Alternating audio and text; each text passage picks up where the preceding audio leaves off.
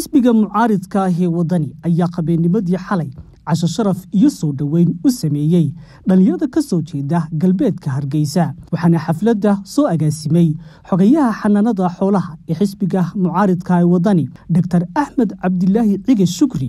Waxaana halkaasi ka hadlay qaar ka mid a saraakiisha xisbiga xildhibaano mas'uuliyiin iyo qaar ka mid a dhallinyaradii goobtaasi lagu soo casuumay iyagoo dhammaantood hadallada ku kala dambeeyey waxay yidhaahdeen.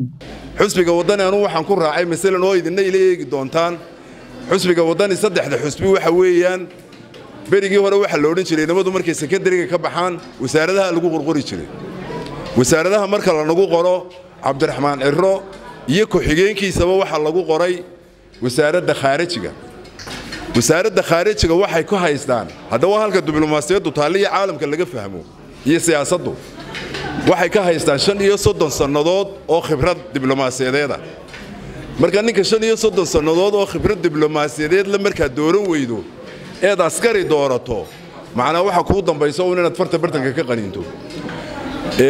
Intaana waxaan kaga tegayaa taariikhda xusbiga oo aynu in badan iska waraysan doonno waxaan idinku bushaaraynayaa uun in idinku tihiin kuwa ololaha gelaya ee hormuudka ka noqonaya xusbiga waddani iyo degaanka gabiila iyo jiidihiisoo dhan.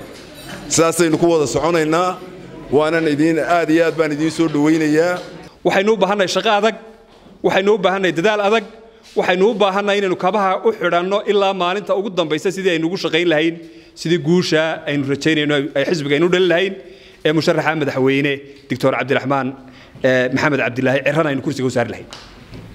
Waa dadaal aan kala gol lahayn baa loo baahan yahay inaynaan ka fadhiisan. Intiina halkan iskugu timid dhammaan waxaad tihiin wada howlwadeenno qof waliba halkiisuu kaambaynar ku yahay mid walba oo inaga midoo halkan jooga ehel asxaab iyo degaan baa ku sii xidhan. Qof walba intaynu ka doonayna waxa weeye dadka taabasho inuu ku gaadho. Makarfoonu kala hadli mayno madalo waaweyn inu isugu keeni mayno waxaynu insha allahu tacaala samayn doonnaa inaynu gruubi samayno oynu xaafad xaafad u qaybinno oynu bologbolog u qaybinno oynu sabbolog u sii qaybinno oo aynu afartankii kontonkii boqolkii qofba cid lagala xisaabtamo aynu ku ogaano codkooga. Soo ururisa si dhammaan codka aynu hayno aynu u weelayno meel iskugu keenno cabdiraxmaan aynu kursiga ugu saarno. Ee dhallinyarada aqoon-yahankaa maanta caawa halkan fadhida. Waxaa laga doonayaa sidii ay u bedeli lahaayeen habfikirka bulshada si loo gaadho habnololeed bulsho oo ka wanaagsan halka maanta aynu taagannahay sida caadiga ah marka doorashooyinka la gelayo xisbiga xilka markaa haya ee xukuumiga ah waxaa lagula xisaabtamaa muddadii uu xilka hayay wixii uu bulshada u taray iyo wixii uu ka gaabiyey xisbiga kale ee ama xisbiyada kale la tartamayana. Waxay soo bandhigaan barnaamij siyaasadeed qoran oo istaraatiijiga oo ka turjumaya habka ay u horumarinayaan dalka. Hadday muwaadiniintu ku aaminaan kalsoonida codkooda. Waxa aanu ballan qaadaynaa dhowaan inaannu keeni doonno barnaamij furan. Warkoo waxa weeye innaga waxayna saaran oo waajibkayna saaran wuxuu yahay inaynu ku dooranno kee ayaa jeebkeenna u dana. Kee ayaa u dana bulshadeenna aqoontooda beerashadooda iyo bulshadeenna aynu nahay isku haynteenna taasi innaga ayay waajib inugu nahay haddaynu nahay taageerayaasha xisbiga. Insha allah imikana waxaan doonayaa inaan ka qayb noqdo oo noqdo actifka magaalada arabsiyo ee haweenka iyo dhallinyarta iyo waayeelka iyo wax soo saarka maxay ahaydee xisbiga waxaanan garab siin doonaa xisbiga insha allah anigoo dhallinyarta iyo waalidkaba ku xidhi doona inkastoo dhallinyarta u badan yihiin dadka social mediaha isticmaala. Insha allah waxaan rajaynayaa inaan gaadhsiin doono dadkaan social mediaha isticmaalin. Ama telefoonnadan taabka aan haysan ooan ku xidhi doonno insha allah bulshaweynta magaalada waayeelka dadka miyada degan iyo gobolladaba degan insha allah aad bay u mahadsan yihiin. Haddii aanu nahay aqoon-yahanka gobolka gabiley gaar ahaan degmada agabar xisbigan runtii waxaanu ku ayidnay mabda'iyan kumaanaan soo raacin reer ee waxaanu ku raacnay mabda'iyan mabda'aasoo ah inuu xisbi dad isku hayn leeyahay aragtidii somalilan oo dhanna laga wada dhex arki karo xisbigan oo ah xisbiga ugu weyn mucaaridka oo doorashadii hore boqolkiiba shan iyo afartan fifty six percent siga kursiga. Doorka waxaan ka rajaynaynaa inuu codkii ugu badnaa ee abi doorasho madaxweyne lagu guulaysto cabdiraxmaan ciro aan ku saarno. Laakiin iminka waxaan doonayaa inaan wadani haddaanu reer geblin nahay xuduuda saarno si uu soo bixi lahaa sidii aan beryo hore kulmiye u helin jirnay ayaan hadda wadani ugu helinaa innagoo maxay ahaydee matelna xisbigii maxay ahaydee wadani markii hore xisbigii aan talada saarnay ee kulmiye mar haddaynu ka weynay alle waxaynu ka doonaynay ugu yaraan xitaa iska daa wax kale xitaaye. War gebiley ee kala baydh ma shaqaynayo gebiley way demsatay habbay tiri gebiley. Marka waxaan leeyahay dhammaantiin aan shaqayno aan dadaalno. Cabdiraxmaan cirana maalin dhow tolo kuleeyey dad baan yar sheego waxaan ku niyo habeen dhexda ahayd baan ku riyooday baan ku idho isagoo madaxweynaha. Marka bal isagana ii geeyey baan ku idho waxa la yidhi cimradii buu ku maqan yahay marka markuu yimaad baan bishaarada u sheeganaa mar hadduu soo cimraystay dee madaxtinimadiina waanu saarannaa.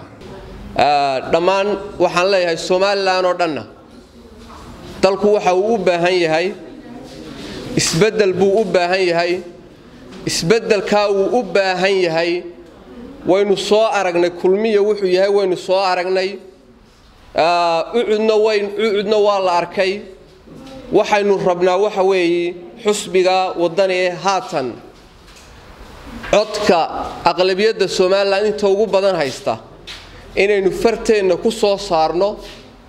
Xafladdani laba ujeedday leedahay. Ujeeddada koowaad waxa weeye inaynu ka maydhno muwaadiniinta dhallinyarada aqoon-yahanka xisbiga ay u soo codeeyeenay hore aanay marnaba noqonin. Dad farahooda eeda oo indhahooda eeda oo odhaahdooda eeda oo dadnimadooda eeda oo garashadooda eeda ee ay noqdaan dad la karaameeyo mar walba oo la sharfo oo qarankooda ku sharfan oo xisbigooda ku sharfan oo caasimadooda ku sharfan oo degaankooda ku sharfan oo dadkooda la sharfan oo diintooda maqaam sare oo sharafle ku leh taa inay noqdaan.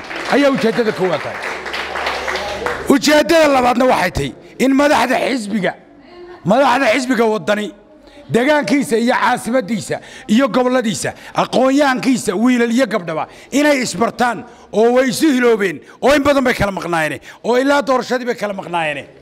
Xafladuhu ay sidan iyagoo googoosa iyo iyagoo gaagaababa ay noqdaan sida xogeeyayaasha xildhibaanada intuba ay ku taliyeen iyo madaxda xisbiguba dhammaan ay ku taliyeen. Annana waa aqbalay.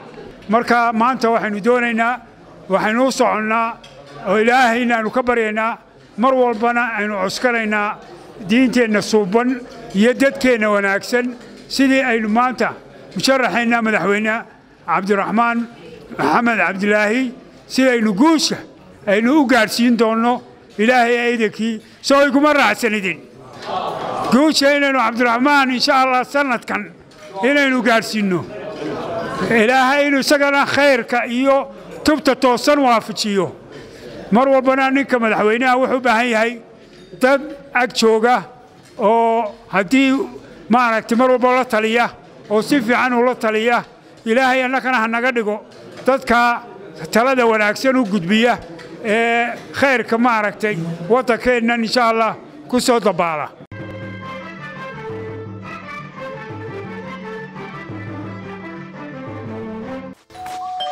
Maasha allah soo dhowaada la jaanqaad shirkadda telesom. Maxmil waxay kuu diyaarisay adeegga internetka ay faibar optiga kaasoo xawaarihiisu kala go' lahayn. Waa guji waa ishaa biligteeda. Intuu soo gudlanayo hadalba gam hagarle ii ku isticmaal sochial midiyaha kuna daawo wararka cayaaraha iyo onlaine geemiska haddaba maxmil soo gasho gurigaaga xafiiskaaga iyo goobtaada shaqo. Fadlan nagala soo xidhiidh nambarka gaaban